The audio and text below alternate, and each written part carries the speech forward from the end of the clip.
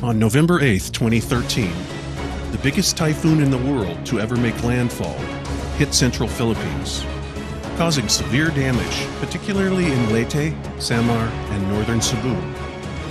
Yolanda took more than 5,500 lives, destroyed infrastructure and livelihood, severed services like water, power, and communication, and displaced thousands of families. Many of our brothers and sisters lost everything. They have just survived the biggest storm they'd ever face in their lives, but now they are struggling to live and recover from the impact of this adversity.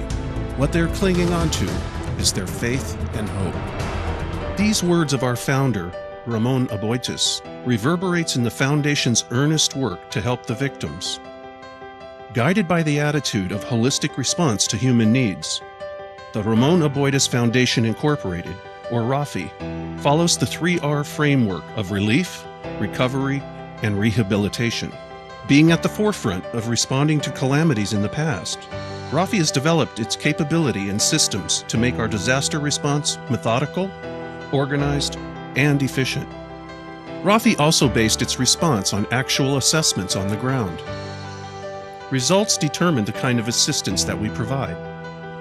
Immediately after Super Typhoon Yolanda, Rafi gave food relief to 85,000 affected families in northern Cebu, Leyte, and Samar. Its food pack provided sustenance for a family of five for five days. It also supplied drinking water to areas where water systems were cut off or water sources were contaminated. It provided tarpaulins too for temporary shelters. As architects of change, we provide an architecture of participation and promote the Bayanihan spirit, exhibited in the many volunteers that we involved in the packaging, logistics, and distribution of relief goods.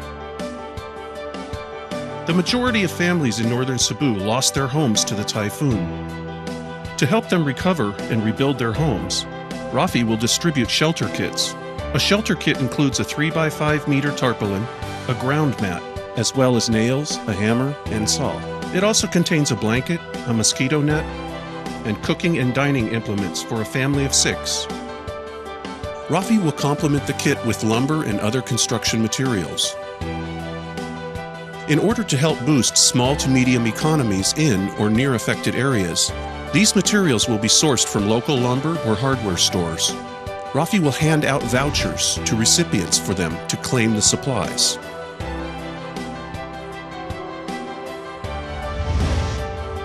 These materials can be used to pitch sturdier tents for temporary shelters, or create starter houses as semi permanent dwellings. Later on, these houses may be augmented to eventually become permanent houses. Finally, Rafi will work towards rehabilitation of communities. Beyond houses, we will endeavor to repair and reconstruct schools and daycare centers and health centers, as well as provide or restore water systems. Rafi will even help in providing livelihood. It will also raise funds for learning kits for 150,000 affected public elementary and high school students. Since the need is enormous, Rafi is campaigning for institutions and individuals to collaborate with us in order to accomplish this enormous undertaking. It is our great desire to help our brothers and sisters realize their hopes by recovering their homes and rehabilitating their communities.